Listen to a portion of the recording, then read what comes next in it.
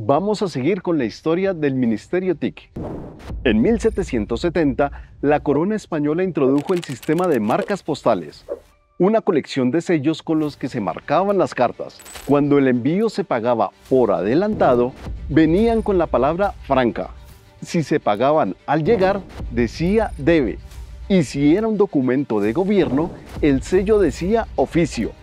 Este sistema continuó después de la independencia y desde 1820 aparecieron los sellos postales que decían República de Colombia.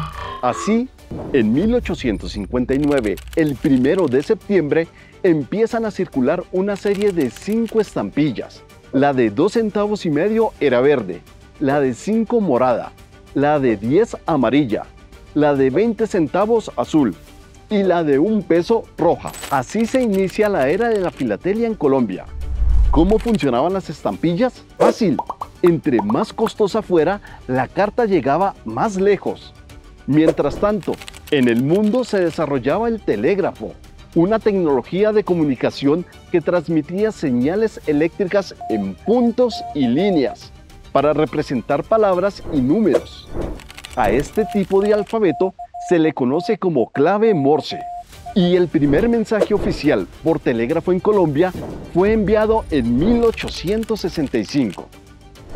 Para 1869, la telegrafía queda bajo el control del Estado.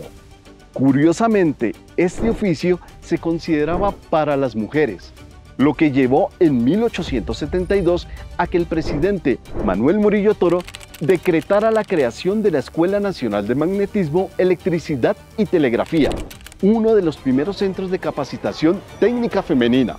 Llegamos a 1875, cuando se instalaron los primeros cables de telégrafo, al fondo de las aguas de la Ciénaga de Santa Marta. El 12 de abril de 1881, Colombia se adhiere a la Unión Postal Universal, y en 1882 se inaugura el primer cable submarino que conectó por primera vez a nuestro país con el mundo, desde Buenaventura a través de Panamá. Bueno, y hasta aquí llegamos hoy. Nos vemos la próxima con mucha más historia del Ministerio de Tecnologías de la Información y las Comunicaciones.